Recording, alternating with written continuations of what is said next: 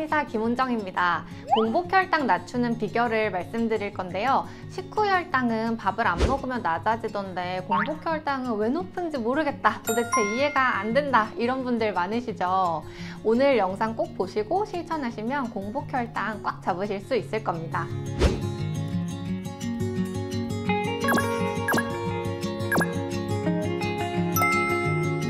먼저 공복 혈당에 영향을 크게 주는 요인이 네 가지가 있습니다. 이게 이제 첫 번째가 수면, 그리고 지방, 스트레스, 간 기능 이렇게 네 가지인데요. 오늘은 이 중에 1번 수면과 공복 혈당의 관계에 대해서 말씀드리겠습니다. 자고 일어나서 재는 게 공복 혈당이니까 당연히 잠을 어떻게 자느냐 이게 혈당 조절에 중요합니다. 잠을 자는 동안 혈당이 낮은 상태로 잘 유지되려면 잠을 잘 자는 게 중요합니다. 우리 몸에서 포도당을 가장 많이 사용하는 곳이 바로 여기 우리 뇌인데요. 잠을 자는 동안은 우리 뇌도 쉬면서 포도당을 안 쓰게 되는데 만약에 잠을 못 자면 뇌가 계속 활동을 하게 되고 그동안 계속 포도당을 사용하게 됩니다. 뇌에 포도당을 공급을 해줘야 되니까 혈당도 계속 올라가서 딱 아침에 혈당을 쟀을 때 높게 나오게 됩니다. 결론은 내가 쉴 수 있도록 잠을 잘 자야 된다는 것이고요. 잠을 잘 자고 나서 아침에 일어났을 때 개운한 느낌과 몸이 가벼운 느낌이 있어야 합니다. 자, 당뇨인이 잠을 잘 잔다는 것이 구체적으로 어떤 뜻인지 한번 볼게요. 자, 첫 번째로 7시간 이상 수면이 중요합니다. 제가 당뇨 진료를 해보면 7시간 이상 주무시는 분들이 거의 없어요. 5시간에서 6시간 정도 주무시는 분들이 대부분인 것 같아요. 2019년 OECD 발표에 따르면 한국인 평균 수면 시간이 OECD 평균보다 30분 적고 조사 대상국인 18개 국가 중에서는 최하위라고 합니다. 피곤하다고 느끼는 당뇨인, 공복 혈당이 안 잡히는 당뇨인은 수면 시간부터 늘리세요. 당뇨를 예방하고 싶으신 분들도 마찬가지입니다. 7시간 이상의 충분한 수면 아주 중요합니다. 자, 두 번째로 오래 자는 것도 중요한데 깊이 자야 합니다. 7시간 이상 잤는데도 피곤하거나 꿈 내용이 자주 기억난다거나 밤에 화장실을 가려고 자주 깬다 그러면 잠을 깊이 못 주무시는 겁니다. 또 악몽을 매일 꾸는 분들도 간혹 있거든요. 한의학에서는 심장이 약할 경우에 수면을 깊게 하지 못한다고 하였습니다. 그리고 심장을 튼튼히 하기 위해서 인삼, 맹문동, 산조인과 같은 이런 약재들을 처방하였습니다.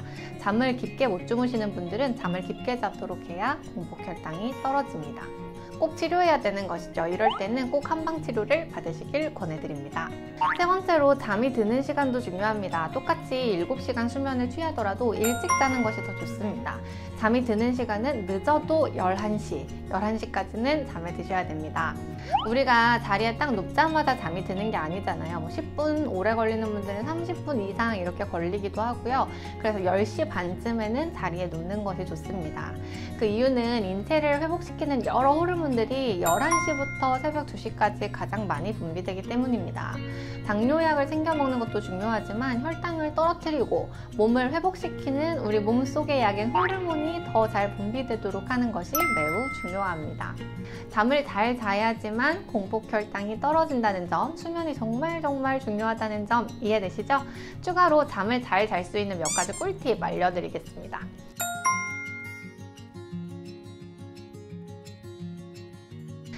번째로 낮에는 밝게 지내고 밤에는 어둡게 지내야 잠이 잘 옵니다.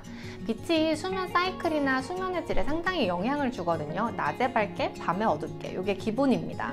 밤에 무조건 불 끄는 게 좋고요. 불빛, 조도라고 하는데 조도가 낮을수록 좋아요. 만약에 뭐 창문 밖에 가로등 불빛 같은 것 때문에 너무 밝으면 암막 커튼을 치고 주무세요. 반대로 낮에는 햇빛을 좀 봐줘야 됩니다. 아침에 출근길에 햇빛 보고 뭐 점심 먹고 햇빛 보는 거 이런 거 아주 좋고요. 밥 먹고 간단히 산책하는 것도 추천드리고 창가에서 일하는 것도 좋습니다. 두 번째로 자기 전에 핸드폰은 절대 절대 하시면 안 됩니다. 자기 전에 유튜브 하시는 분들이 많은데 지금 이 영상도 혹시 침대에 누워가지고 자기 전에 보시는 분들 있을지 모르겠어요. 그거 절대로 하시면 안 됩니다. 처음에 핸드폰을 딱 끊으면 오히려 잠이 잘 안 온다 이렇게 느껴지실 텐데 잠이 안 오는 게 아니라 자기 전에 내가 핸드폰을 하면서 보내던 시간만큼 그 시간만큼 잠이 안 오는 거예요. 핸드폰 하고 싶은 마음을 꾹 참고 계속 누워 계시면 잠이 옵니다. 잡생각이 너무 많이 나면 졸릴 때까지 책을 보거나 명상을 하시면 좋고요. 자기 전에 핸드폰 하는 습관을 바꾸면 수면의 질이 엄청 높아집니다. 자, 세 번째는 체온 조절입니다. 낮에 체온이 확실하게 높고 밤에 체온이 낮아져야 잠이 잘 옵니다. 밤에 체온이 안 떨어지면 잠도 안 오고 낮에 체온이 제대로 안 올라도 좀 멍하고 밤에 잠이 안 오는 이런 경향이 있어요.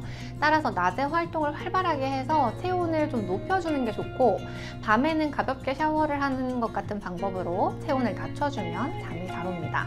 몸이 안 좋으면 이런 미세한 조절 기능이 떨어지면서 잠이 잘 안 들게 되는데 심한 경우에는 밤에 체온이 안 떨어지면서 좀 답답한 느낌이나 더운 느낌이 들기도 하는데 이럴 때에는 한약으로 치료하면 도움이 많이 됩니다. 자, 여러분 잠을 잘 자야지만이 공복 혈당이 잡힙니다. 특히 내가 식단 관리도 하고 운동도 하고 있는데 공복 혈당이 너무 안 잡힌다. 그러면 꼭 수면을 고치셔야 합니다.